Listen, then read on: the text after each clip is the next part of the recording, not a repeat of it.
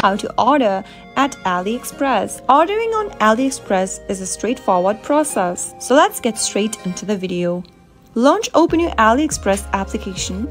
Also make sure that you're logged into your account. From the main homepage of AliExpress, you can search for the product with the help of the search box at the top. You can also browse through the product's categories displayed on the screen. Now, scroll through the product and find the one that you'd like to purchase. Tap on the product to purchase it.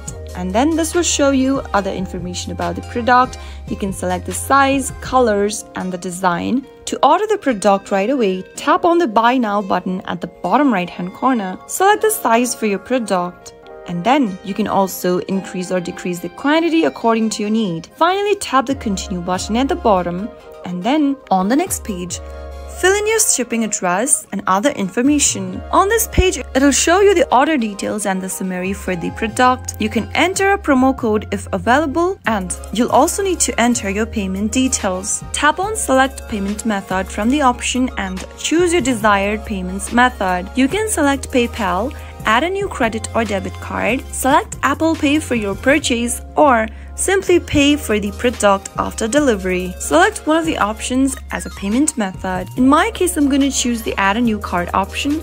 Go ahead and pick one of the options. You can then scan your card with the help of the scanner button or manually enter your card number in the text box, enter your card details, your name, your card's expiry date, and the CVV code for the card. If you want to save this card's detail, you can toggle on the button where it says Save Card Details and finally tap on save and confirm at the bottom. After you do that, you'll be able to place order and finalize your product. After successfully placing your order, you'll receive an order confirmation with a tracking number you can use the number to track the status of your shipment. Depending upon the shipping method and your location, all you need to do now is to wait for the order to be delivered. So that is how you can easily place an order on AliExpress. If you found the video to be helpful, go ahead and give us a thumbs up. Don't forget to subscribe to our channel by hitting the subscribe button.